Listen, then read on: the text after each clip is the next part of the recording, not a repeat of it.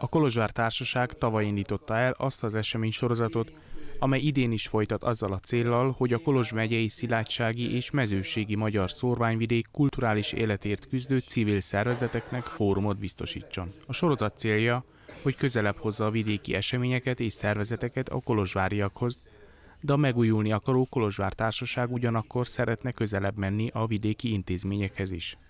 A tavaly 25. fennállását ünneplő Bátori Alapítványról Széman Péter beszélt. Tulajdonképpen 25 éves az tavaly volt, de most, most, most jutottunk el Kolozsvára vele, amelynek kapcsán a tavaly sikerült rendhagyó módon egy ötnapos magyar fesztivált várjátékokkal együtt megrendezni Szilágy a Bátori napok kapcsán.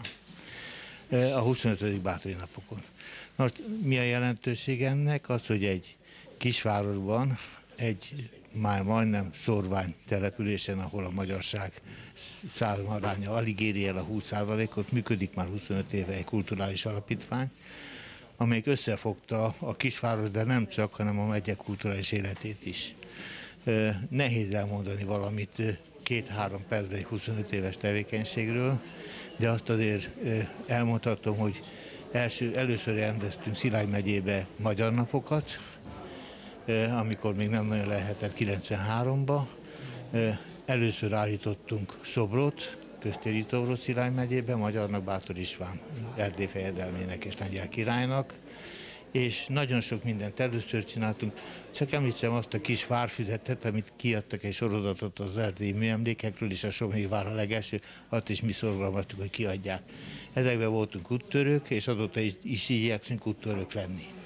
A Kolozsvár Társaság új sorozata a civil szervezeteket szeretné testközelbe hozni a kolozsváriak számára.